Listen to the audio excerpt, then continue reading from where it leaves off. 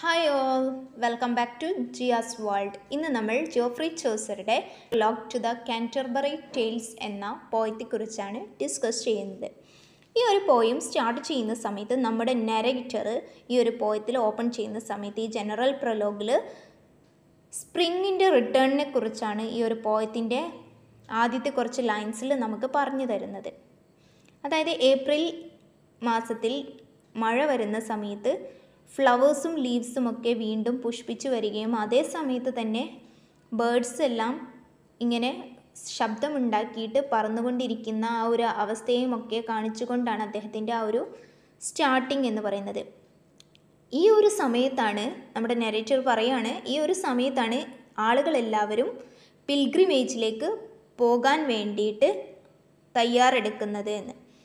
അദ്ദേഹം പറയുന്നുണ്ട് ഒരുപാട് ഡിവോട്ടായിട്ടുള്ള ഇംഗ്ലീഷ് പിൽഗ്രിംസ് ഒക്കെ ഈ സമയത്താണ് ഡിസ്റ്റന്റ് ആയിട്ടുള്ള ഹോളി ലാൻഡ്സിലേക്കൊക്കെ വിസിറ്റ് ചെയ്യാൻ വേണ്ടി ആഗ്രഹിക്കുന്നതും അങ്ങനെ ഷ്രൈൻസിലേക്കൊക്കെ പോകുന്നതും ഈ ഒരു ടൈമിലാണ് സാധാരണയായിട്ട് കാണപ്പെടാറുള്ളത് എന്നും പറയുന്നുണ്ട്. അതുകൊണ്ട് തന്നെ ഇവിടെ അദ്ദേഹം ട്രാവൽ ചെയ്യാൻ ഉദ്ദേശിക്കുന്നത് നമ്മുടെ കാന്റർബറിയിലേക്കാണ് അവിടെയാണ് നമ്മുടെ മാർച്ചിയർ ആയിട്ടുള്ള സെന്റ് തോമസ് ബക്കറ്റിന്റെ ആ ഒരു ഷ്രൈൻ ഉള്ളത്. അപ്പോൾ അതിനെ വിസിറ്റ് ചെയ്യാനാണ് നമ്മുടെ നെറേറ്റർ ആഗ്രഹിക്കുന്നത്. അങ്ങനെ അദ്ദേഹം കാന്റർബറി കത്തീഡ്രലിലേക്ക് വിസിറ്റ് ചെയ്യാൻ വേണ്ടി തീരുമാനിക്കുകയാണ്.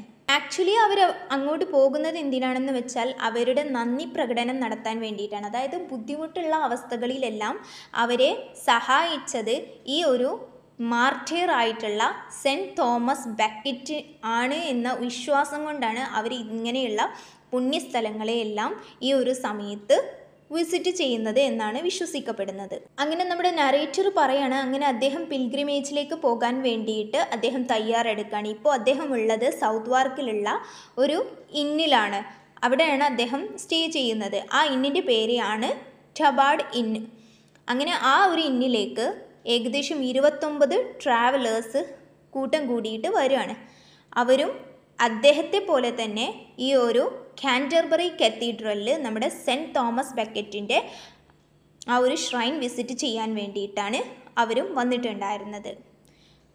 അങ്ങനെ അദ്ദേഹം ആ സമയത്ത് അവരോട് ചോദിക്കുന്നുണ്ട് നിങ്ങളുടെ ഈ ഒരു ഗ്രൂപ്പിലേക്ക് അല്ലെങ്കിൽ നിങ്ങളുടെ ഈ ഒരു കമ്പനിയിലേക്ക് എന്നെയും കൂടെ ചേർക്കാമോ? എന്ന് ചോദിക്കുമ്പോൾ അവർ സന്തോഷത്തോടെ അദ്ദേഹത്തെ ആ ഒരു ഗ്രൂപ്പിലേക്ക് അംഗീകരിക്കുന്നുണ്ട്. അതായത് കൂട്ടിച്ചേർക്കുന്നുണ്ട്.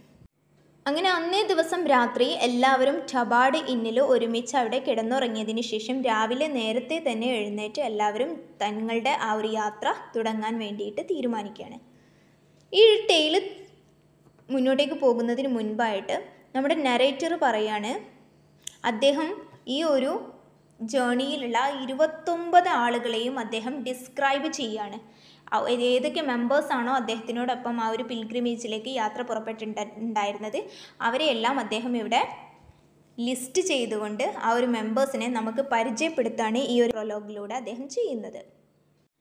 നമ്മുടെ കാന്റർബറി കത്തീഡ്രലിനെ കുറിച്ച് സംസാരിക്കുകയാണെങ്കിൽ കാന്റർബറി കത്തീഡ്രൽ എന്ന് പറഞ്ഞാൽ ഒരു ഇംഗ്ലീഷ് പേഴ്സണിന് അത്ര വലിയ ബുദ്ധിമുട്ടുള്ള ഒരു ഡെസ്റ്റിനേഷൻ പോയിന്റ് അല്ല അവരുടെ യാത്രയിൽ കാന്റർബറി എന്ന് പറഞ്ഞു കഴിഞ്ഞാൽ.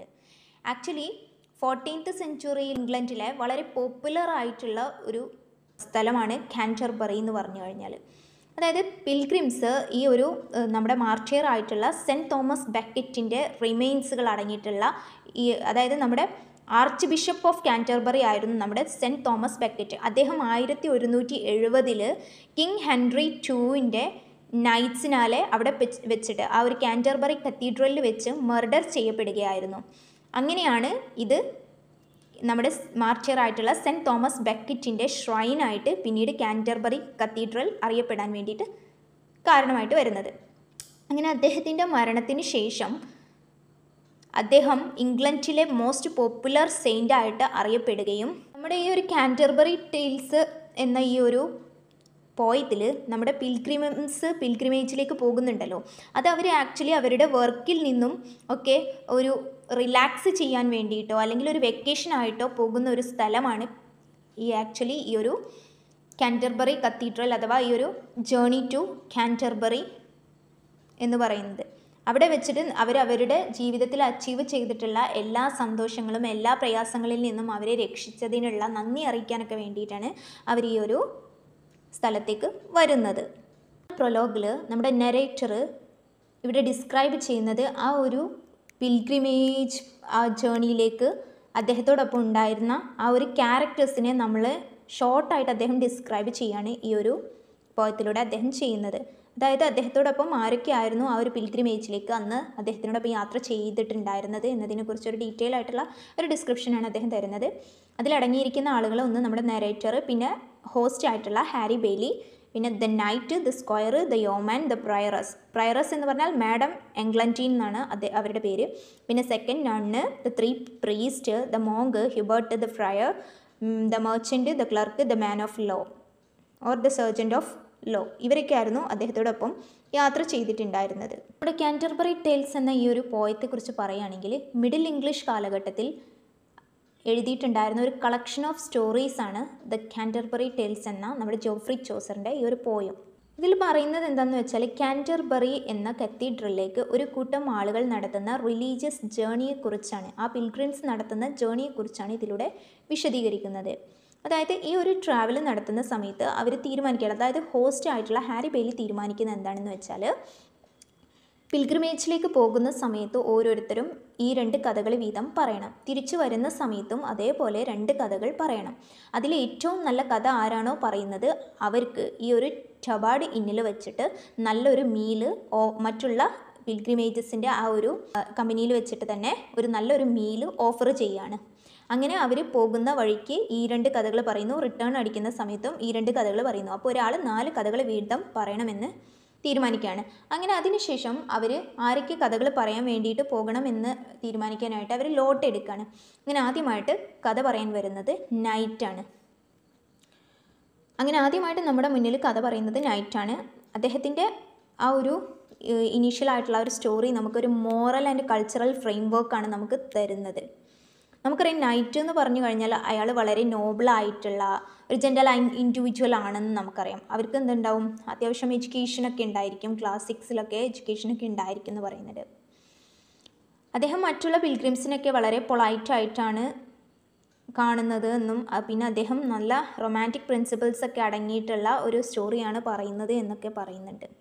അതായത് അദ്ദേഹം ഏതോ ഒരു ബാറ്റിൽ കഴിഞ്ഞാണ് വരുന്നത്. അതുകൊണ്ട് തന്നെ അദ്ദേഹത്തിന്റെ ശരീരത്തിൽ അതായത് അദ്ദേഹം ധരിച്ചിട്ടുള്ള ആ ഒരു ഡ്രസ്സിലൊക്കെ ഒത്തിരി മണ്ണും അഴുക്കൊക്കെ പറ്റിയിട്ടുണ്ട് എന്നൊക്കെ പറയുന്നുണ്ട്. ആ ഒരു വർക്ക് കഴിഞ്ഞതിന് ശേഷം അതിൽ നിന്നുള്ള ഒരു റിലാക്സ് ആയിട്ടാണ് അദ്ദേഹം ഈ ഒരു കാന്റർബറി പിൽഗ്രിമേജിലേക്ക് വരുന്നത്.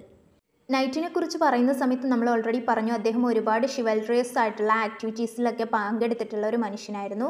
അദ്ദേഹം വളരെ ബ്രേവ് ആയിട്ടുള്ള ഹോണറബിൾ ആയിട്ടുള്ള ഒരു വ്യക്തിയായിരുന്നു എന്നൊക്കെ പറയുന്നുണ്ട്. അദ്ദേഹത്തിന്റെ അപ്പിയറൻസ് എന്ന് പറഞ്ഞാൽ ഷാബി എന്നാണ് പറയുന്നത്.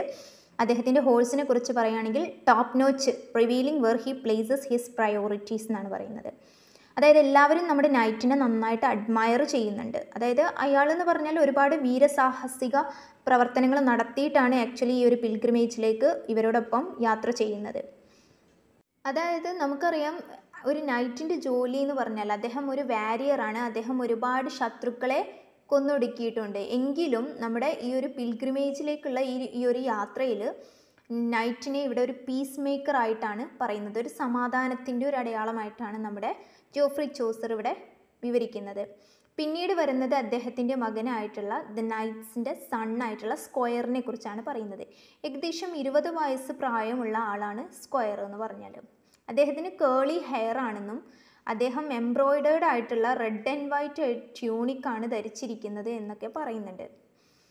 അദ്ദേഹം നല്ലൊരു എക്സലന്റ് ആയിട്ടുള്ള ഒരു ഹോഴ്സ്മാൻ ആണ്. അതായത് അദ്ദേഹത്തിന് നന്നായിട്ട് കുതിര സവാരി ചെയ്യാൻ അറിയാമെന്നും അതുകൊണ്ട് തന്നെ അദ്ദേഹത്തിന്റെ ആക്ഷൻസ് ഒക്കെ ഷെവൽറിയിലൊക്കെ കാണാൻ വേണ്ടിയിട്ട് സാധിക്കുന്നുണ്ട് എന്നൊക്കെ പറയുന്നുണ്ട്. അതായത് അദ്ദേഹത്തിന്റെ ബോഡി എന്ന് പറഞ്ഞാൽ ആവറേജ് സൈസ് ആണെന്നും അദ്ദേഹം വളരെ സ്ട്രോങ് ആൻഡ് അജൈൽ ആയിട്ടുള്ള ഒരു വ്യക്തിയാണെന്നൊക്കെ പറയുന്നുണ്ട്. അദ്ദേഹത്തിന് പാടാനും ഡാൻസ് കളിക്കാനും അതേപോലെ ഫ്ലൂട്ട് വായിക്കാനും എഴുതാനും വരയ്ക്കാനും പോയംസ് ഒക്കെ റിസൈറ്റ് ചെയ്യാനും അങ്ങനെ എല്ലാ കഴിവുണ്ട്. അതായത് കുറച്ച് റൊമാന്റിക് ആയിട്ടുള്ള ആളാണെന്നും നമ്മുടെ നേരത്തെ നമ്മുടെ നൈറ്റിന് പറഞ്ഞ സമയത്ത് അദ്ദേഹം വസ്ത്രത്തിലൊന്നും അത്ര ശ്രദ്ധിച്ചിരുന്നില്ല. എന്നാൽ അദ്ദേഹത്തിന്റെ മകന് ഇരുപത് വയസ്സ് പ്രായമുള്ളൂ എന്ന് നമ്മൾ പറഞ്ഞു. അപ്പോൾ അദ്ദേഹം വസ്ത്രധാരണത്തിലൊക്കെ കൂടുതൽ ശ്രദ്ധിച്ചിരുന്ന ഒരാളായിരുന്നു എന്ന് നമുക്ക് നിന്ന് മനസ്സിലാക്കാൻ പറ്റും. കുറച്ച് റൊമാന്റിക് ആയിട്ടുള്ള ഒരു വ്യക്തി കൂടിയാണ് നമ്മുടെ സ്ക്വയർ എന്ന് പറഞ്ഞാൽ വളരെ ഹോട്ട് ബ്ലഡഡ് ആയിട്ടുള്ള ഒരു ക്യാരക്ടറാണ് വളരെ പാഷനേറ്റ് ആയിട്ടുള്ള ഒരു ക്യാരക്ടറും കൂടിയാണ് നമ്മുടെ സ്ക്വയർ അതായത് ലവ് എന്ന ഒരു അതായത് അവന്റെ ആ ഒരു പ്രായം വെച്ച് ഇരുപത് വയസ്സ് പ്രായമുള്ള ആളായതുകൊണ്ട് തന്നെ ഒരു ലവിനോടും റൊമാൻസിനോടൊക്കെ കൂടുതൽ താല്പര്യമുള്ള അത്തരത്തിലുള്ള ഒരു വ്യക്തിയായിട്ടാണ് നമ്മുടെ ജോഫ്രി ചോസർ ഈ ഒരു ക്യാരക്ടറിനെ ഇവിടെ വിവരിച്ചിട്ടുണ്ടായിരുന്നത്. നെക്സ്റ്റ് ആയിട്ട് പറയുന്നത് നമ്മുടെ പ്രയറസിനെയാണ്. പ്രയറസ് എന്ന് പറഞ്ഞാൽ കത്തോളിക് ചേർച്ചിലുണ്ടായിരുന്ന ഒരു ഹൈ റാങ്കിങ്ങിലുള്ള ഒരു നണ്ണാണ് അവരുടെ പേര് എന്ന് പറഞ്ഞാൽ മാഡം എഗ്ലന്റൈൻ എന്നാണ്. അവർ അവരുടെ ആ ഒരു സംസാരത്തിലൂടെ അതായത് ഫ്രഞ്ചാണ് അവർ സംസാരിക്കുന്നത് അതിലൂടെ മറ്റുള്ളവരെ ഇമ്പ്രസ് ചെയ്യിക്കാനൊക്കെ ശ്രദ്ധിക്കുന്നുണ്ട്. എന്നാൽ അവരുടെ ഫ്രഞ്ച് എന്ന് പറഞ്ഞാൽ വളരെ മോശമായിട്ടാണ് അവർ ആ ഫ്രഞ്ച് സംസാരിച്ചത് എന്ന് നമ്മുടെ ഓദർ ഇവിടെ പറയുന്നുണ്ട്. എന്നിട്ട് പറയുന്നത് എന്താ വെച്ചാൽ അവൾ അവളുടെ മൂക്കുകൊണ്ടാണ് ചർച്ചിലുള്ള സർവീസസിനെ എല്ലാം അവൾ പാടിക്കൊണ്ടിരുന്നത് എന്നും അവൾക്ക് നല്ല മാനേഴ്സ് ഒക്കെ ഉണ്ടായിരുന്നു എന്നും കുറച്ച് ക്വയറ്റ് ആയിട്ടുള്ള ടിമിഡായിട്ടുള്ള ക്യാരക്ടറാണ് എന്നും ഒക്കെ പറയുന്നുണ്ട്. അവൾക്ക് പെറ്റ്സ് ആയിട്ട് സ്മോൾ ഡോഗ്സ് ഒക്കെ ഉണ്ട് എന്നും. പക്ഷെ അത് ആക്ച്വലി ചർച്ചിന്റെ ആ ഒരു നിയമത്തിന് എതിരായിട്ടുള്ള ഒരു കാര്യമാണ് എന്നൊക്കെ അദ്ദേഹം ഈ ഒരു പോയത്തിലൂടെ ഡിസ്ക്രൈബ് ചെയ്യുന്നുണ്ട്. ആക്ച്വലി പെറ്റ്സിനെ വെക്കാൻ പാടില്ല എന്നുള്ള ചർച്ചിന്റെ റൂൾ എന്താണെന്ന് വെച്ചാൽ വിശക്കുന്ന ആളുകൾക്ക് കൊടുക്കേണ്ട ഭക്ഷണം പെറ്റ്സിന് കൊടുക്കേണ്ടി വരില്ലേ എന്ന ചിന്തയിലാണ് ആക്ച്വലി ഇങ്ങനെ പെറ്റ്സിനെ വെക്കാൻ പറ്റില്ല എന്നുള്ള ഒരു റൂൾ ചർച്ച് പാസ്സാക്കിയിട്ടുണ്ടായിരുന്നത് അവർ ജ്വല്ലറികളൊക്കെ ധരിച്ചിട്ടുണ്ടായിരുന്നു. അതും ചർച്ചിന്റെ റൂൾസിന് എതിരായിരുന്നു. അവർക്ക് ഗ്രേ ഐസും സ്മോൾ മൗത്തും ബ്രോഡ് ഫോർഹെഡുമാണ് ഉണ്ടായിരുന്നത്. അത് എന്ന് പറഞ്ഞാൽ ചോസറിന്റെ ടൈമിൽ ബ്യൂട്ടിയെ സിഗ്നിഫൈ ചെയ്യുന്ന ഒരു രീതിയായിരുന്നു ഇത്. കമ്പനി അതായത് അവർക്ക് കമ്പനി കൊടുക്കാൻ വേണ്ടിയിട്ട് ഒരു നണ്ണും മൂന്ന് പ്രീസ്റ്റും ഉണ്ടായിരുന്നു എന്നും നമ്മുടെ ഓദർ പറയുന്നുണ്ട്. നെക്സ്റ്റ് ആയിട്ട് പറയുന്നത് പാഴ്സണിനെ കുറിച്ചാണ്. കാന്റർബറി ടെയിൽസിലുള്ള ചർച്ചുമായിട്ട് അസോസിയേറ്റ് ചെയ്ത ക്യാരക്ടറിൽ ഒരാളാണ് പാഴ്സൺ. അദ്ദേഹം വളരെയധികം ഹോണസ്റ്റും അപ്പീലിങ്ങുമായിട്ടുള്ള ഒരു ക്യാരക്ടറായിട്ടാണ് പറയുന്നത്. വളരെയധികം പാവപ്പെട്ട ഒരാളാണ്. പക്ഷേ ഭയങ്കര ദൈവത്തിനോട് കൂടുതൽ താല്പര്യമുള്ള ദൈവത്തിനോട് കൂടുതൽ ഭക്തി കാണിക്കുന്ന ഒരാളായിട്ടാണ് പറയുന്നത്. അദ്ദേഹത്തെക്കുറിച്ച് പറയുകയാണെങ്കിൽ അദ്ദേഹത്തിന് ബൈബിൾ നന്നായിട്ട് അറിയാം. അത് മറ്റുള്ളവരെ വളരെയധികം ശ്രദ്ധാപൂർവം തന്റെ ജോബ് നന്നായിട്ട് മറ്റുള്ളവരിലേക്ക് എത്തിക്കാൻ വേണ്ടിയിട്ട് അതായത് മറ്റുള്ളവരെ പഠിപ്പിച്ചു കൊടുക്കുന്നൊക്കെ ഉണ്ട് അദ്ദേഹം. ബൈബിൾ വായിച്ചുകൊണ്ട് മറ്റുള്ളവരെ പഠിപ്പിച്ചൊക്കെ കൊടുക്കുന്നുണ്ട്. അങ്ങനെ അദ്ദേഹത്തിന് കിട്ടുന്ന ആ ഒരു എന്താണോ അദ്ദേഹത്തിന് കിട്ടുന്നത്? നല്ലതായിട്ടുള്ള എന്താണ് കോയിൻസും ക്യാഷും എന്തൊക്കെയാണോ അവർക്ക് അദ്ദേഹത്തിന് കിട്ടുന്ന വസ്തുക്കൾ അതൊക്കെ പാവപ്പെട്ടവരിലേക്ക് എത്തിക്കാനും അദ്ദേഹം ശ്രമിക്കാറുണ്ട്. ഇനി അടുത്തതായിട്ട് പറയുന്നത് പ്ലോമാൻ ആണ്. പ്ലോമാൻ എന്ന് പറഞ്ഞു കഴിഞ്ഞാൽ നമ്മുടെ ഹോണസ്റ്റ് ആയിട്ടുള്ള പുവർ ആയിട്ടുള്ള പാഴ്സന്റെ ബ്രദറാണ് പ്ലോമാൻ അദ്ദേഹം ഒരു ലോലി ഫാം വർക്കറാണ് പാർസനെ പോലെ തന്നെ പുവറാണ് അദ്ദേഹത്തെ പോലെ തന്നെ ഹോളിയും കൂടെയാണ് അതായത് മറ്റുള്ളവരിൽ നിന്നും വലിയ ക്യാഷ് ഒന്നും ഈടാക്കാതെ അവർക്ക് വേണ്ടിയിട്ട് വർക്ക് ചെയ്യുന്ന ഒരാളാണ് നമ്മുടെ പ്ലോമാൻ അദ്ദേഹം ഒരു ഹെവി സ്മോക്ക് ആയിരുന്നു ധരിച്ചിട്ടുണ്ടായിരുന്നത്. ഒരു മേയറിനെ മുകളിലാണ് അദ്ദേഹം സഞ്ചരിച്ചുകൊണ്ട് റൈഡ് ചെയ്തുകൊണ്ടാണ് അദ്ദേഹം കാൻഡർബറിയിലേക്ക് വന്നിട്ടുണ്ടായിരുന്നത്. നെക്സ്റ്റ് ആയിട്ട് പറയുന്നത് യോമാൻ ആണ്. യോമാൻ എന്ന് പറഞ്ഞാൽ നമ്മുടെ നൈറ്റിന്റെയും സ്ക്വയറിന്റെയും സെർവന്റ് ആണ് യോമാൻ അപ്പിയറൻസ് വെച്ച് നോക്കുകയാണെങ്കിൽ യോമാൻ എന്ന് പറഞ്ഞു കഴിഞ്ഞാൽ റോബിൻ ഹുഡിനെ പോലെയാണ്. അതായത് ഗ്രീൻ കളറിലാണ് അദ്ദേഹം ഡ്രസ്സ് ധരിച്ചിട്ടുണ്ടായിരുന്നത്. അദ്ദേഹത്തിന്റെ കയ്യിൽ ഒരു ബോയും ആരോയും ഒക്കെ ഉണ്ടായിരുന്നു. ഒരു ഷീൽഡും ഒരു സ്വാഡ് ഒരു ഡാഗർ ഇതൊക്കെ ഉണ്ടായിരുന്നു. അദ്ദേഹത്തിന്റെ ഫോറാമിനെ പ്രൊട്ടക്റ്റ് ചെയ്യാൻ വേണ്ടിയിട്ട് അദ്ദേഹം ഒരു ബ്രേസ് ധരിച്ചിട്ടുണ്ടായിരുന്നു. കാരണം ബോ ചെയ്യുന്ന സമയത്ത് കൈക്ക് ബുദ്ധിമുട്ടുകളൊന്നും സംഭവിക്കാതിരിക്കാൻ വേണ്ടിയിട്ടായിരുന്നു അദ്ദേഹം ആ ഒരു ബ്രേസ് ധരിച്ചിട്ടുണ്ടായിരുന്നത്. അതേപോലെ അദ്ദേഹം ഒരു സെന്റ് ക്രിസ്റ്റഫർ മെഡലും ധരിച്ചിട്ടുണ്ടായിരുന്നു. ഒരു ഹണ്ടിങ് ഹോണും ഉണ്ടായിരുന്നു അദ്ദേഹത്തിന്റെ കയ്യിൽ അതായത് ഫോറസ്റ്റിലേക്കുള്ള ഒരു വഴിയിൽ അദ്ദേഹം വളരെ ബുദ്ധിശാലിയായിട്ട് ഈ ഒരു പോയത്തിൽ കാണപ്പെടുന്നുണ്ട്. നെക്സ്റ്റ് ആയിട്ട് പറയുന്നത് പാഡനറിനെ കുറിച്ചാണ്. കാൻഡർബറി ടെയിൽസിലുള്ള ക്യാരക്ടറിനെ വെച്ച് നോക്കുകയാണെങ്കിൽ മോസ്റ്റ് ഓഡിയസ് ആയിട്ടുള്ള ക്യാരക്ടറാണ് പാഡനർ വളരെ സെൽഫിഷും ഡിസ്ഹോണസ്റ്റുമായിട്ടുള്ള ഒരു ക്യാരക്ടറായിട്ടാണ് പാഡനറിനെ പറയുന്നത്. അദ്ദേഹത്തിന്റെ പൊസിഷൻ ചർച്ചിൽ എന്താണെന്ന് വെച്ചാൽ സിന്നേഴ്സിന് പാഡൻസ് സെല്ല് ചെയ്യലാണ് അദ്ദേഹത്തിന്റെ ജോലി എന്ന് പറഞ്ഞാൽ പാഡൻസിൽ നിന്നും ലഭിക്കുന്ന ആ ഒരു ക്യാഷൊക്കെ പാവപ്പെട്ടവരിലേക്ക് ഡിസ്ട്രിബ്യൂട്ട് ചെയ്യലാണ് ആക്ച്വൽ ഒരു പാഡനറുടെ ഡ്യൂട്ടി. എന്നാൽ നമ്മുടെ ചോസറുടെ പാഡനറുടെ ഡ്യൂട്ടി എന്താണെന്ന് വെച്ചാൽ അദ്ദേഹം അദ്ദേഹത്തിന്റെ ക്യാഷ് കിട്ടുന്ന ക്യാഷൊക്കെ സ്വന്തമായിട്ട് സൂക്ഷിച്ചു വെക്കും. അതായത് മറ്റുള്ളവരിലേക്ക് പാവങ്ങളിലേക്കൊന്നും അദ്ദേഹം ഡിസ്ട്രിബ്യൂട്ട് ചെയ്യാറില്ല എന്നാണ് പറയുന്നത്. അതായത് ഒരു പിഗ്സിന്റെ ബോൺസ് അടങ്ങിയിട്ടുള്ള ഒരു ജാർ അദ്ദേഹത്തിനോടൊപ്പം ഉണ്ടായിരുന്നു എന്നും പറയുന്നുണ്ട്. അത് ഇവിടെ പറയുന്നത് എന്താണെന്ന് വെച്ചാൽ സെയിൻസിന്റെ ബോൺസ് ആയിട്ടാണ് നമ്മുടെ ജോഫ്രി ചോസർ അതിനെ ഇവിടെ വിവരിക്കുന്നത്. അദ്ദേഹത്തിന് വളരെ ലോങ് ബ്ലോണ്ട് ഹെയറും എഫെമിനേറ്റ് ആയിട്ടുള്ള മാനേഴ്സും ഒക്കെ ഉണ്ടെന്നും അദ്ദേഹം നമ്മളോട് പറയുന്നുണ്ട്. ഗാർഡനറിന് ഇവിടെ നമ്മുടെ ഓദർ പറയുന്നത് അദ്ദേഹം ഒരു ഗേ അല്ലെങ്കിൽ ഒരു ബൈസെക്ഷൽ ആണ് എന്ന രീതിയിലും അദ്ദേഹം ഇവിടെ പറയുന്നുണ്ട്. നെക്സ്റ്റ് ആയിട്ട് പറയുന്നത് നമ്മുടെ ഫ്രയറിനെ കുറിച്ചാണ്. അദ്ദേഹം വളരെ ജോളി ആയിട്ടുള്ള ഒരു മാനാണ് അദ്ദേഹത്തിന്റെ പേരാണ് ഹ്യൂബേർട്ട്. അദ്ദേഹം പാവപ്പെട്ടവരെ ഒന്നും അത്രയധികം ശ്രദ്ധിച്ചിട്ടുണ്ടായിരുന്നില്ല. അദ്ദേഹത്തിന് ക്യാഷ് ബ്രൈബ് ചെയ്യുകയാണെങ്കിൽ അതായത് നമ്മൾ കൈക്കൂലി കൊടുക്കുക എന്ന് പറയില്ല അങ്ങനെയൊക്കെ ചെയ്യുകയാണെങ്കിൽ വെൽത്തി ആയിട്ടുള്ള ആളുകൾക്കൊക്കെ മാപ്പ് എത്തിച്ചു കൊടുക്കാൻ വേണ്ടിയിട്ട് വില്ലിംഗ് ആയിട്ടുള്ള ഒരാളായിരുന്നു അദ്ദേഹം എന്ന് നമുക്ക് പറയുന്നുണ്ട്. അദ്ദേഹം വളരെ എലക്ഷ്യന്റ് ആയിട്ടൊരു സ്പീച്ചൊക്കെ നടത്തിയിട്ടാണ് വരുന്നത്. അതായത് അദ്ദേഹം സ്പീച്ച് നടത്തുന്നതിൽ വളരെയധികം ബോൾഡായിട്ടുള്ള ഒരാളാണെന്ന് നമുക്ക് പറയാൻ വേണ്ടിയിട്ട് സാധിക്കും.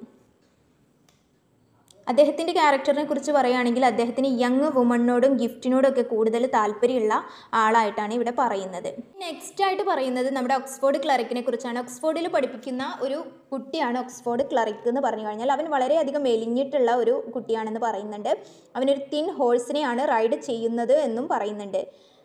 അതായത് അവന് വളരെ പുവറായിട്ടുള്ള ഒരാളാണെന്നും അദ്ദേഹത്തിന് എന്തൊക്കെ ക്യാഷ് കിട്ടിയാലും അതൊക്കെ ബുക്സിന് വേണ്ടി ചിലവഴിക്കാനാണ് അദ്ദേഹം ശ്രമിക്കുന്നത് എന്നും ക്വൈറ്റായിട്ടുള്ള റെസ്പെക്റ്റ്ഫുൾ ആയിട്ടുള്ള അപ്രിഷ്യേറ്റീവ് ആയിട്ടുള്ള ഒരു ക്യാരക്ടറാണ് എന്നും പറയുന്നുണ്ട്. അതായത് അവൻ കൂടുതലായിട്ടും അവന്റെ വിദ്യാഭ്യാസത്തിലാണ് ഫോക്കസ് ചെയ്തിരിക്കുന്നത് എന്നും നമ്മളോട് പറയുന്നുണ്ട്.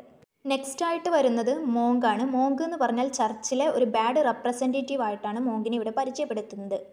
മോങ്കിനെ പറയുന്ന സമയത്ത് നമ്മൾ പുവർ ആയിട്ടുള്ള ഒരാളായിട്ടാണ് നമ്മൾ വിഷൻ ചെയ്യുക നമ്മുടെ ഒരു വിഷൻ എന്ന് പറഞ്ഞാൽ അങ്ങനെയായിരിക്കും.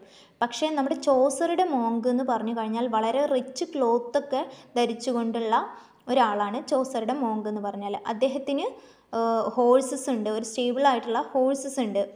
അതേപോലെ തന്നെ ഹണ്ടിങ് ഡോഗ്സ് ഉണ്ട്. അദ്ദേഹത്തിന്റെ കൂടുതൽ സമയവും അദ്ദേഹം മറ്റുള്ളവരെ രക്ഷിക്കുന്നത് അതായത് ആത്മാക്കൾക്ക് നല്ലത് പറഞ്ഞു കൊടുക്കുക അവരെ രക്ഷിക്കുന്നതിന് പകരം അദ്ദേഹം കൂടുതൽ സമയവും സ്പെൻഡ് ചെയ്യുന്നത് ഹണ്ടിങ്ങിന് വേണ്ടിയിട്ടാണ്. അദ്ദേഹത്തിന് ഒരു ബ്രൗൺ ഹോഴ്സാണ് ഉള്ളത്. അതിനെയാണ് അദ്ദേഹം ഓടിക്കുന്നത് എന്നും അദ്ദേഹം വളരെ തടിച്ചിട്ടുള്ള ഷൈനി ഫേസും ഷൈനി ബാൾഡ് ഹെഡും ബൾജിങ്ങും ഡാർട്ടിങ്ങും ആയിട്ടുള്ള ഐസൊക്കെ ഉള്ള ഒരു വ്യക്തിയാണ് എന്നും പറയുന്നുണ്ട്. നെക്സ്റ്റ് ആയിട്ട് വരുന്നത് നമ്മുടെ മില്ലറാണ് മില്ലർ എന്ന് പറഞ്ഞാൽ വളരെ ഹ്യൂജ് ആയിട്ടുള്ള ഒരു ബോഡി ഉള്ള ഒരാളാണ്. അയാൾക്ക് ഏകദേശം ഇരുന്നൂറ്റി ഇരുപത്തിനാല് പൗണ്ട് വെയിറ്റ് ഉണ്ട് എന്നും അദ്ദേഹത്തിന് ചുവന്ന മുടിയും ഒരു സ്പെയ്ഡ് ലൈക്ക് ബിയേർഡും അദ്ദേഹത്തിന്റെ നോസിന്റെ അടുത്തൊരു വാർട്ട് ഉണ്ട് എന്നും പറയുന്നുണ്ട്. ഒരു ബ്ലാക്ക് കളറിലുള്ള ഒരു അടയാളാണ് വാർട്ട് എന്ന് പറഞ്ഞാൽ അപ്പോൾ അതും ഉണ്ട് എന്ന് പറയുന്നുണ്ട്. അദ്ദേഹത്തിന് ഫൗൾ മൗത്താണ് അതായത് വളരെ ഉറക്കത്തിൽ സംസാരിക്കുന്ന ഒരാളാണ് എന്നാൽ കാര്യമില്ലാത്ത കാര്യമായിരിക്കും അയാൾ പറയുന്നുണ്ടാവുക. അദ്ദേഹം ഒരു ചീറ്ററാണ് എന്നും നമ്മുടെ ജോസർ ഇവിടെ പറയുന്നുണ്ട്. അതായത് അദ്ദേഹത്തിന്റെ അടുത്ത് ആരാണോ ധാന്യങ്ങൾ വാങ്ങാൻ വരുന്നത് ആ സമയത്ത് അദ്ദേഹം ആ ഒരു സ്കെയിലിന്റെ മുകളിൽ തന്റെ തമ്പ് വയ്ക്കുകയും അങ്ങനെ കസ്റ്റമേഴ്സ് കൂടുതൽ ക്യാഷ് കൊടുത്ത് ആ സാധനം വാങ്ങേണ്ട ഗതികേടിലാവുകയും ചെയ്യുകയാണ് ചെയ്യുന്നതെന്നും പറയുന്നുണ്ട്. മില്ലർ ഇവിടെ ധരിച്ചിട്ടുള്ളത് ബ്ലൂ ഹൂഡുകൾ അടങ്ങിയിട്ടുള്ള വൈറ്റ് കോട്ടാണ്. അദ്ദേഹം ബാക്ക് പൈപ്സും പ്ലേ ചെയ്യുന്നുണ്ട് എന്നും പറയുന്നുണ്ട്. നെക്സ്റ്റ് ആയിട്ട് പറയുന്നത് സർജിയൻ അറ്റ് ലോ ഈ ഒരു ക്യാരക്ടറിനെ കുറിച്ച് പറയുകയാണെങ്കിൽ അദ്ദേഹം ഒരു ലോയറാണ് നമ്മുടെ കിങ് ആണ് അദ്ദേഹത്തെ ലോയറായിട്ട് അപ്പോയിന്റ് ചെയ്തിട്ടുണ്ടായിരുന്നത്. അതുകൊണ്ട് തന്നെ നീതി എത്തിക്കുക എന്നുള്ളതാണ് അദ്ദേഹത്തിന്റെ ഡ്യൂട്ടി അദ്ദേഹം എപ്പോഴും വളരെ ബിസി ആയിട്ടാണ് ഇരിക്കുന്നതെന്ന് മറ്റുള്ളവരെ വിശ്വസിപ്പിക്കാൻ വേണ്ടിയിട്ട് ആഗ്രഹിക്കുന്ന ഒരാളാണ്. പക്ഷേ ആക്ച്വലി അദ്ദേഹം അങ്ങനെ ബിസി ആയിട്ടുള്ള ഒരാളൊന്നല്ല. എപ്പോഴും ലോസും കേസസും ജഡ്ജ്മെന്റ്സും ഒക്കെ ആയിട്ട് നടക്കുന്ന ഒരാളാണ് അദ്ദേഹം. അദ്ദേഹം വളരെ വ്യത്യസ്ത കളറ് അടങ്ങിയിട്ടുള്ള ഒരു കോട്ടാണ് ധരിച്ചിട്ടുണ്ടായിരുന്നത്. ഒരു പിൻ സ്ട്രൈപ്പ്ഡ് സിൽക്ക് ബെൽറ്റും അദ്ദേഹം ധരിച്ചിട്ടുണ്ട് എന്നും പറയുന്നുണ്ട്. നെക്സ്റ്റ് ആയിട്ട് വരുന്നത് ഫ്രാങ്ക്ലിൻ ആണ്. അദ്ദേഹം ഒരു വെൽത്തി ആയിട്ടുള്ള ലാൻഡ് ഓണറാണ് അദ്ദേഹത്തിന് കുടിക്കാനും അതേപോലെ തിന്നാനും ഒക്കെ വളരെയധികം ഇഷ്ടമുള്ള ഒരു ആളായിട്ടാണ് ഇവിടെ പറയുന്നത്. ഫ്രാങ്ക്ലിനെ കുറിച്ച് പറയുകയാണെങ്കിൽ ഒരു സാന്റക്ലൗസിനെ പോലെയാണ് അദ്ദേഹത്തിന് കണ്ടാൽ അപ്പിയറൻസിൽ തോന്നുക. അതായത് ഒരു റെഡ് ഫേസും വൈറ്റ് ബിയേർഡൊക്കെ ആയിട്ടുള്ള ഒരാളാണ് അദ്ദേഹം എന്ന് പറയുന്നുണ്ട്. പിന്നെ അദ്ദേഹത്തെക്കുറിച്ച് പറയുകയാണെങ്കിൽ അദ്ദേഹം ഒരു ജഡ്ജായിട്ടാണ് ഇവിടെ കാണപ്പെടുന്നത്. അതായത് കേസുകളൊക്കെ വരുന്ന സമയത്ത് ഒരു ജഡ്ജായിട്ട് അദ്ദേഹത്തിന് പറയുന്നുണ്ട്. പാർലമെന്റിലെ കൗണ്ടിയിലാണ് അദ്ദേഹം എപ്പോഴും കാണപ്പെടുന്നത് എന്നും പറയുന്നുണ്ട്. അതായത് ആക്ച്വലി നമ്മുടെ കോർട്ടിലുള്ള ഒരു ജഡ്ജ് അതായത് ജസ്റ്റിസ് മറ്റുള്ളവരിലേക്ക് എത്തിക്കേണ്ട അതായത് ആ നിയമം പാസ്സാക്കേണ്ട ആളാണ് നമ്മുടെ ഫ്രാങ്ക്ലിൻ എന്നും ഇവിടെ പറയുന്നുണ്ട്. ഒരു നല്ല എക്സലന്റ് ആയിട്ടുള്ള ഒരു ഹോസ്റ്റാണ് അദ്ദേഹം എന്നും പറയുന്നുണ്ട്. അതായത് വീട്ടിലേക്ക് വരുന്ന ഗസ്റ്റുകൾക്കൊക്കെ നല്ല ഫുഡ് അതേപോലെ വൈനുകളൊക്കെ കൊടുത്ത് നന്നായിട്ട് അവരെ നോക്കി പരിപാലിക്കാൻ അദ്ദേഹത്തിന് പ്രത്യേക കഴിവുണ്ട് എന്നൊക്കെ പറയുന്നുണ്ട്. നെക്സ്റ്റ് ആയിട്ട് വരുന്നത് മാൻസിപ്പിളാണ് കോർട്ടിൽ ഫുഡും ഡ്രിങ്കും ഒക്കെ കൊടുക്കലാണ് അദ്ദേഹത്തിന്റെ ജോലി എന്ന് പറഞ്ഞാൽ അദ്ദേഹത്തിന്റെ ജോലിയിൽ അദ്ദേഹം വളരെയധികം മികച്ച ഒരു പ്രവർത്തനമാണ് കാഴ്ചവെക്കുന്നതെന്ന് പറയുന്നുണ്ട്. അദ്ദേഹത്തിന് തീരെ വിദ്യാഭ്യാസമൊന്നുമില്ല. അതായത് എഴുത്തും വായനയൊന്നും അദ്ദേഹത്തിന് അറിയില്ല. പക്ഷെ അദ്ദേഹം ഇന്റലിജന്റ് ആണ്. കോമൺ സെൻസ് ധാരാളമുള്ള ഒരു വ്യക്തിയാണ് എന്നും പറയപ്പെടുന്നുണ്ട്. നല്ല മണി മാനേജർ ആയതുകൊണ്ട് തന്നെ അതായത് ക്യാഷൊക്കെ നല്ല രീതിയിൽ കൈകാര്യം ചെയ്യാൻ അറിയുന്നത് കൊണ്ട് തന്നെ അദ്ദേഹത്തിന് യാതൊരുവിധ കടബാധ്യതകളും ഇല്ല എന്നൊക്കെയാണ് പറയുന്നത്. നെക്സ്റ്റ് ആയിട്ട് വരുന്നത് സമ്മോണറാണ് സമ്മോണറാണ് ഈ കാൻഡർബറി ടെയിൽസിലെ ക്യാരക്ടേഴ്സിനെ വെച്ച് നോക്കുന്ന സമയത്ത് വളരെ റിപ്പൾസീവ് ആയിട്ടുള്ള ഒരു ക്യാരക്ടറായിട്ട് വരുന്നത്. അദ്ദേഹത്തിന്റെ ആ ഒരു ഫേസിലേക്ക് നോക്കുന്ന സമയത്ത് ഒരുപാട് ബോയിൽസും അതേപോലെ സ്ക്രാഗ്ലി ബിയേർഡും സ്കാബി ആയിട്ടുള്ള ഐബ്രോസും ഒക്കെ ഉള്ള ഒരു വ്യക്തിയാണ് അദ്ദേഹം എന്ന് പറയുന്നുണ്ട്. അദ്ദേഹത്തിന്റെ അപ്പിയറൻസ് എന്നെ പേടിപ്പിക്കുന്ന രീതിയിലാണ്. അതുകൊണ്ട് തന്നെ കുട്ടികൾക്കൊക്കെ അദ്ദേഹത്തിനെ കണ്ട പേടിയാണെന്ന് പറയുന്നുണ്ട്. അദ്ദേഹത്തിന്റെ സ്മെല്ലും വളരെ ബാഡാണ് അതായത് അദ്ദേഹം അടുത്തേക്ക് വരുന്ന സമയത്ത് ഒരു ഉള്ളിയുടെ മണമാണ് ഉണ്ടാവുക. അതായത് ഉള്ളിയുടെയും വെളുത്തുള്ളിയുടെയും ഒക്കെ മണമാണ് കാരണം എന്താ വെച്ചാൽ അദ്ദേഹം കൂടുതലായിട്ട് അതൊക്കെ കഴിക്കുന്നതുകൊണ്ട് തന്നെ അദ്ദേഹത്തിന് ഒരു ബാഡ് സ്മെല്ലാണ് എന്നൊക്കെ പറയുന്നുണ്ട്. അദ്ദേഹത്തിന് വൈനൊക്കെ കൂടുതൽ ഇഷ്ടമുള്ളതുകൊണ്ട് തന്നെ കൂടുതൽ സമയം അയാൾ ഡ്രങ്കാണ് ഉണ്ടാ ആയിട്ടാണ് ഉണ്ടാവുന്നത് എന്നൊക്കെ പറയുന്നുണ്ട്. അതായത് കോർട്ടിൽ വരുന്ന ആളുകളെ എങ്ങനെ കൈകാര്യം ചെയ്യണം എന്നുള്ള അതായത് എങ്ങനെയൊക്കെ അടക്കിയിരുത്തണം അതാണ് അദ്ദേഹത്തിന്റെ ജോലി. എങ്ങനെയൊക്കെ അവരെ സമ്മോൺ ചെയ്യുക എന്നുള്ളതാണ് അദ്ദേഹത്തിന്റെ ജോലി. സ്കിപ്പർ എന്ന് പറഞ്ഞാൽ അദ്ദേഹത്തിന് മോഡ്ലൈൻ എന്ന് പറഞ്ഞിട്ടുള്ള ഒരു ഷിപ്പുണ്ട് അദ്ദേഹം ഒരു എക്സലന്റ് ആയിട്ടുള്ള ഒരു സെയിലറാണ് അതുകൊണ്ട് തന്നെ അദ്ദേഹത്തിന് ഹോഴ്സിന്റെ മുകളിൽ അദ്ദേഹം അത്ര കംഫർട്ടബിൾ ആയിട്ട് അദ്ദേഹത്തിന് ഇരിക്കാൻ പറ്റില്ല എന്ന് പറയുന്നുണ്ട്. അദ്ദേഹം ട്രേഡേഴ്സിൽ നിന്നൊക്കെ വൈന് കട്ടെടുക്കാറുണ്ട് എന്നും പ്ലാങ്കിന്റെ മുകളിലൂടെ അത് ക്യാപ്ചർ ചെയ്തിട്ടുള്ള ശത്രുക്കളെ നടക്കാൻ വേണ്ടിയിട്ട് അദ്ദേഹം ഫോഴ്സ് ചെയ്യിക്കാറുണ്ട് എന്നൊക്കെ പറയുന്നുണ്ട്. നെക്സ്റ്റ് ആയിട്ട് പറയുന്നത് റീവിനെ കുറിച്ചാണ്. റീവ് എന്ന് പറഞ്ഞു കഴിഞ്ഞാൽ അദ്ദേഹം ഒരു കാർപ്പന്റർ കൂടിയാണ്. അദ്ദേഹത്തിന്റെ ജോബുകളെല്ലാം തന്നെ അദ്ദേഹം വളരെയധികം നന്നായിട്ട് ചെയ്യുന്നുണ്ടായിരുന്നു.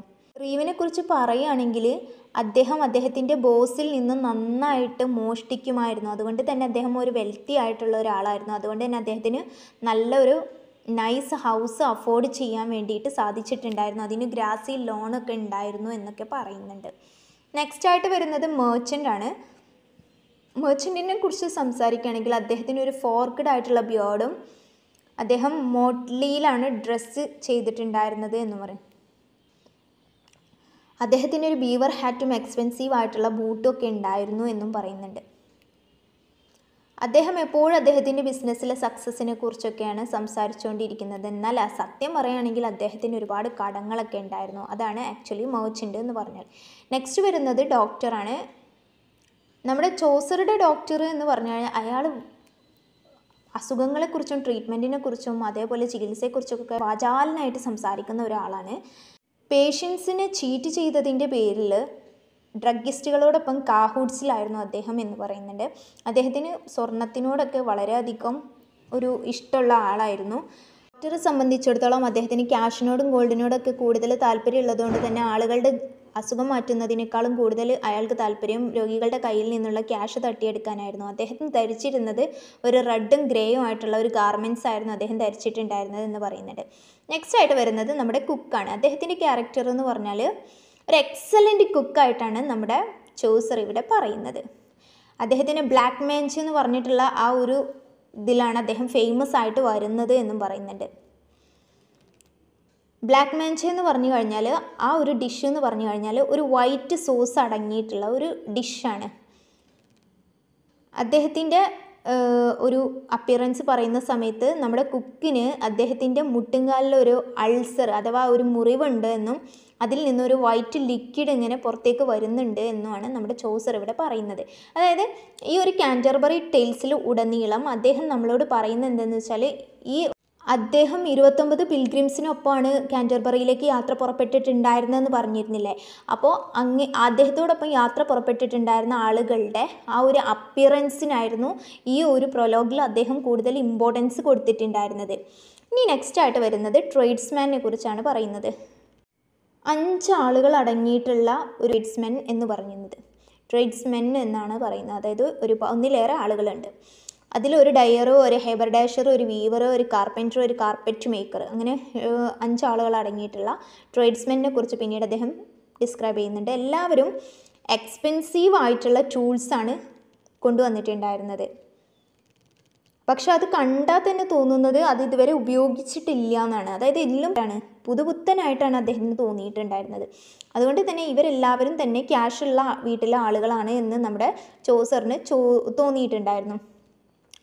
അവരുടെ വൈഫ്സിനെ കുറിച്ച് പറയുമ്പോൾ അവരൊക്കെ വെന്നാബീസ് എന്ന് ആയിരുന്നു എന്നും നമ്മുടെ ചോസർ പറയുന്നുണ്ട്. അതായത് ചർച്ചിലൊക്കെ വസ്ത്രങ്ങൾ അണിഞ്ഞിട്ട് ആളുകളുടെ ശ്രദ്ധ ആകർഷിക്കാൻ വേണ്ടിയിട്ട് ചർച്ചിലേക്ക് പോകുന്ന ആളുകളുണ്ടല്ലോ. അതിനെയാണ് അവരുടെ വൈഫ്സിനെ അദ്ദേഹം വന്നാബീസുമായിട്ട് കണക്ട് ചെയ്തിട്ടുണ്ടായിരുന്നത്. അതായത് വെന്നാബീസ് എന്ന് പറഞ്ഞാൽ ആക്ച്വലി ചർച്ചിൽ പ്രാർത്ഥിക്കാനായിരിക്കില്ല പോകുന്നത്. അവരവരുടെ നല്ല ഡ്രസ്സുകളൊക്കെ ഇട്ട് ആളുകളുടെ മുന്നിൽ ഷോ കാണിക്കാൻ പോകുന്ന അത്തരത്തിലുള്ള ആളുകൾ ആളുകളെയാണ് വെന്നാബീസ് എന്ന് വിളിക്കുന്നത്. അവരായിരുന്നു ഈ അഞ്ച് പേരുടെയും ഭാര്യമാർ എന്നും നമ്മുടെ ചോസർ ഈ ഒരു കാന്റർബറി ടെയിൽസിലെ നമ്മുടെ ക്യാരക്ടേഴ്സിനെ പറയുന്ന കൂട്ടത്തിൽ പറയുന്നുണ്ട്. ഇനി നെക്സ്റ്റ് ആയിട്ട് നെക്സ്റ്റ് നമ്മുടെ ചോസർ പറയുന്നത് ഹോസ്റ്റിനെ കുറിച്ചും വൈഫ് ഓഫ് ബാത്തിനെ കുറിച്ചും കൂടെ പറയുന്നുണ്ട്. അത് ഞാൻ വിട്ടുപോയതാണ് പറയാൻ ഹോസ്റ്റ് എന്ന് പറഞ്ഞാൽ ടബാഡ് ഇന്ന് റൺ ചെയ്യുന്ന ആളാണ് ഹോസ്റ്റ് എന്ന് പറഞ്ഞാൽ ഈ ഒരു യാത്ര തുടങ്ങുന്നതിന് മുൻപായിട്ട് ഈ ടബാഡ് ഇന്നിൽ വെച്ചിട്ടായിരുന്നു എല്ലാവരും കൂടെ കൂട്ടി മുട്ടിയിട്ടുണ്ടായിരുന്നത്. അപ്പോൾ ഈ ഹോസ്റ്റ് ആയിട്ടുള്ള ഹാരി ബേലിയുടെ ഐഡിയ ആയിരുന്നു സ്റ്റോറി ടെല്ലിംഗ് കോണ്ടസ്റ്റ് നടത്തുക എന്നുള്ളത്. അപ്പോൾ ലോ ഈ ഒരു ഹോസ്റ്റിനെ കുറിച്ച് പറയുകയാണെങ്കിൽ ഒരു ലാർജ് ആയിട്ടുള്ള ഒരു മാനായിരുന്നു നമ്മുടെ ഹോസ്റ്റ് എന്ന് പറഞ്ഞാൽ.